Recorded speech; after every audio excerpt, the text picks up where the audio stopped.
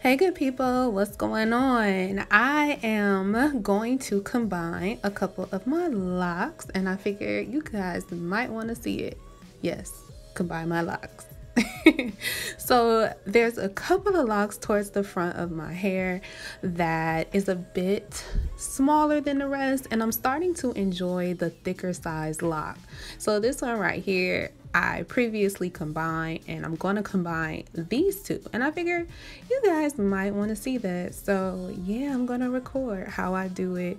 This is not how you should do it. It's how I decided to do it I decided to combine them by doing a two strand twist and just twisting them together.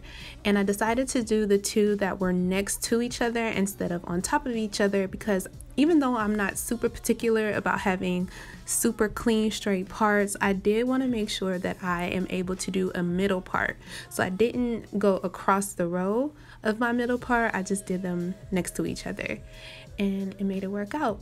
So then I am going to seal them together at the root by continuing my interlocking process. And since they are parallel to each other with a vertical part, I'm going to start interlocking horizontally so that I do not create a hole within my lock. Got it? I hope so.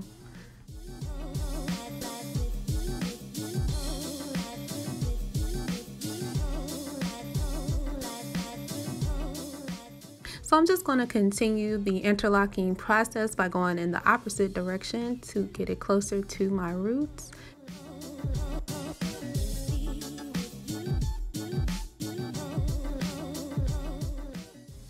And here's a close-up of how that looks at the roots. You can see it looks like one lock. you can't really tell that it's two combined locks until you look at it here where you see more of the two strand pattern. This is without anything holding it together at the bottom but I'm gonna go ahead and add a little rubber band. I'm not gonna leave the rubber band on forever of course but this is just in, to get it to seal a bit more without unraveling. Now I've combined my locks previously in the past and I've sewn them at the ends together and I'm thinking I'm to do that but I just want to see how it works with the rubber band first so here's a comparison of two of the ones that I've combined, two on the outside, and the one in the middle is a lock, a single lock that has not been combined. So you can see the comparison of the sizes.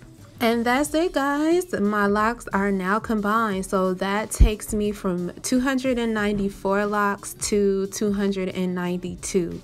And you can kind of see the rubber bands, but I will. And here I'm showing you that I can still part it into a middle part. It's not the straightest because I didn't look in a mirror, but it's pretty cool. Alright good people, thank you so much for watching. Be sure to like, comment, and subscribe.